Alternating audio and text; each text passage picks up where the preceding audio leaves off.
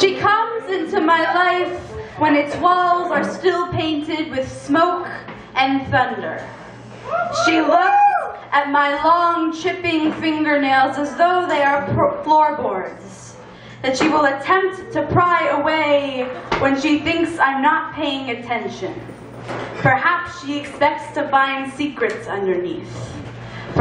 Should tell her I am not the beginning to a horror movie. I was, al- I was always told I was more of a film noir type of girl.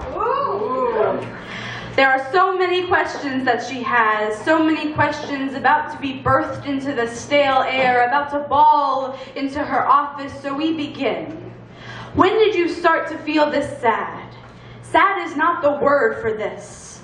Do you have any physical ailments? Every headache I get is a haunted house that deserves to be burned to the ground. What causes your panic attacks? Other people's eyes, crystal balls in the moment that the sun sets. Do you have any fears or phobias? See last answer. We meet on Tuesdays.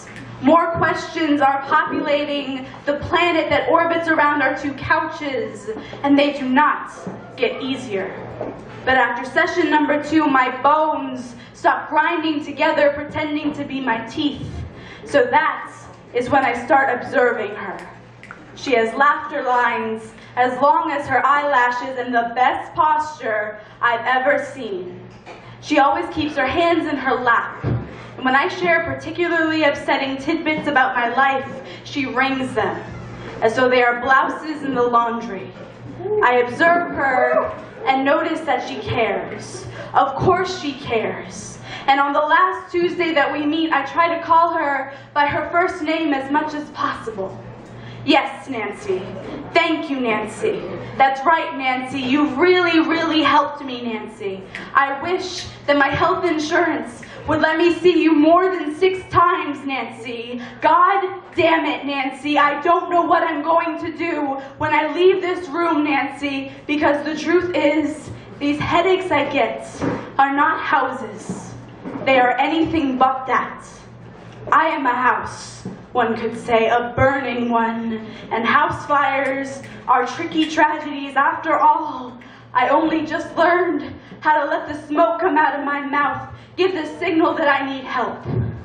And I am afraid of forgetting that lesson. I am afraid of picking through my charred self when this is all over as though I am a roadkill, out for the bellies of the thieving, hoarding vultures. I don't know what to do, Nancy. Firefighters like you responded to my burning house, but I don't know what the next step is.